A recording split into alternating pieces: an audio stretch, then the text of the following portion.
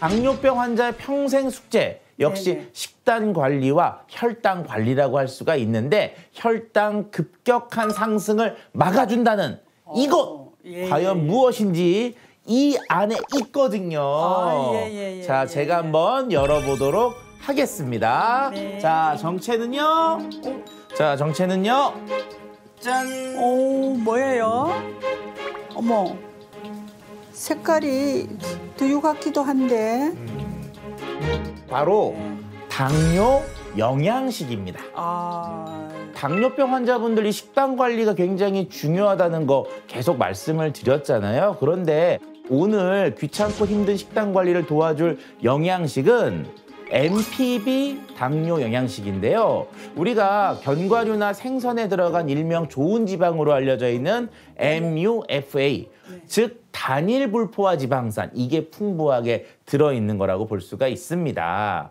자, 이 단일 불포화 지방산은요.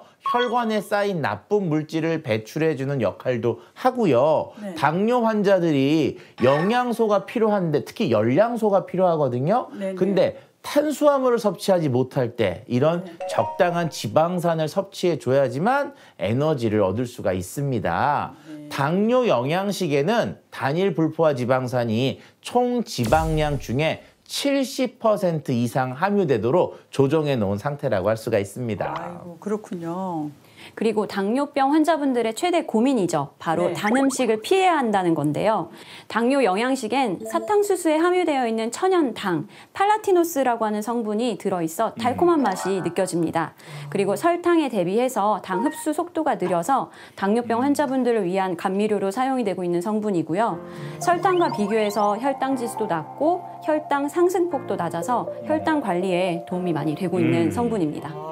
자, 그리고 또 하나 들어가 있는 성분이 있는데 당뇨 영양식에는요. 피인슐린 성분이 풍부하게 들어 있는데 피인슐린 말 그대로 식물성 인슐린이라고 볼 수가 있습니다. 우리 몸에 들어오게 되면은 인슐린과 비슷한 역할을 해서 혈당을 낮춰주는 것으로 알려져 있는데 이게 여주에 많이 들어 있고요.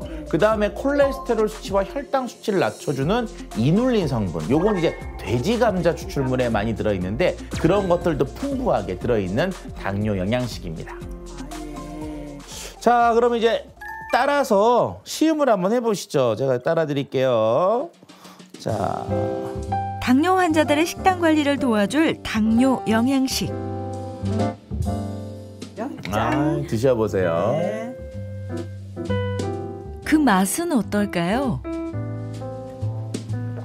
어우, 고소하다. 고소하죠? 네네네네. 어, 먹어보니까 구수하고 달달한 맛이 있어서 목 넘김도 괜찮고요. 네, 먹는데 순조로웠어요. 식단 관리에 아주 힘들었는데 이런 게 있어서 참 좋네요. 당뇨 영양식은 식사를 하시고 나서 추가로 먹거나 하는 그런 약의 개념이 아니라 네네. 내가 배고프거나 허기가 느껴졌을 때 한 끼 간식처럼 드실 수 있는 당뇨 영양식입니다. 당뇨는 아는 만큼 치료할 수 있는 병이고요. 가장 기본적이지만 이제 식이요법 그리고 운동 이런 생활 습관 개선을 통해서 꾸준한 관리를 통해서 여러분들의 당뇨 수치가 잘 조절되기를 기원하겠습니다.